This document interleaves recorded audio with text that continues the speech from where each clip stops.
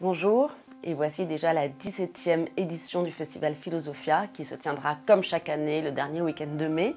Nous vous y attendons nombreux. Et cette année, le thème est le jeu. Jeux olympiques oblige.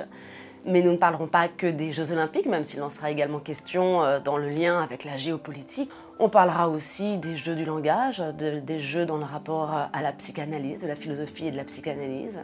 Le jeu de mots, mais le jeu de la littérature aussi, comment on travaille euh, les mots, comment on peut jouer avec les mots dans l'écriture littéraire.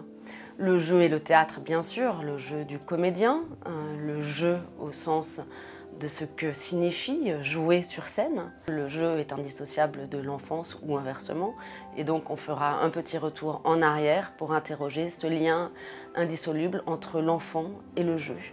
Et puis il y aura évidemment les jeux de l'amour qui ont été chantés par la littérature, règles du jeu qui euh, constituent toute société, mais également euh, les rapports amoureux, le jeu lorsqu'il est transgressé, le jeu lorsqu'on y met fin, fin de partie, alors il s'agit de désaimer et celui qui rompt le contrat transgresse en quelque sorte les règles et sort du jeu.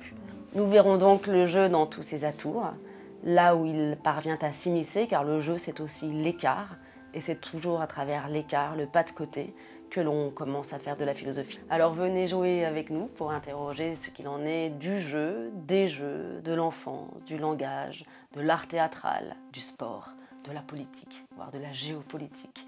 Nous vous attendons nombreux le dernier week-end de mai.